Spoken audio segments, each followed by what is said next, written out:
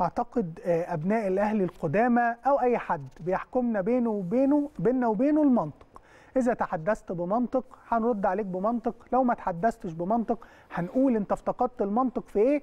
والأهم إن كفانا بقى فكرة المقارنة ما بين كارتيرون وموسيماني. أعتقد يا جماعة اللي بيتفرج على كورة مجردة من أي انتماء يعرف إن الفرق كبير جدا بين مدرب بيلعب في دوري أبطال أفريقيا وبيكون عنده زي ما قلنا لاعبين بيجولوا بيلعبوا عنده كأس العالم للأندية كمدة إضافية ما لعبش فيها نادي الزمالك وبيرجع لاعب زي حمدي فتحي اللي قلنا كان بيشارك قدام الكاميرون وبيشارك قدام كوت ديفوار وبيشارك قدام السنغال ويرجع كل دول يلعبوا ويرجع يلعب في دوري أبطال أفريقيا ويحقق ال- الفوز في في في ويحقق قصدي ال- النتيجه إيجابية آه، خارج الأرض حتى بالتعادل ويحقق شكل بالنسبة لنا مرضي نسبيا ويجي البعض يسمع مدرب آخر في الدوري بيتكلم ويقول أصل اللعيبة عندي مجهدة.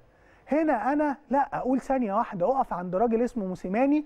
لما خرجنا بالتعادل طلع أول كلمة قالها بعد الماتش إن لما بيتقال له من المراسل إن نتيجة إيجابية قال له نتيجة إيجابية.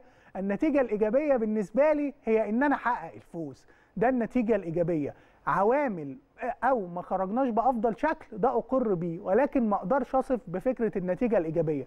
ده طموح مدرب وده طموح مدرب. فما فيش مجال للمقارنة اللي أنتوا بتعقدوها وأعتقد في المواجهات المباشرة كمان كان الفرق واضح وبالخماسية. وأعتقد 3 4 3 هتبقى من النهارده. طريقة جهنمية جدا. أعتقد بيتسو موسيماني بيرسم الخط والبعض بيمشي عليه. ولكن البعض بيحاول التقليل من بيتسو موسيماني. أنا مش فاهم ليه أو ممكن أكون فاهم بس أنا عامل نفسي مش فاهم ليه دايما التقليل من بيتسو موسيماني.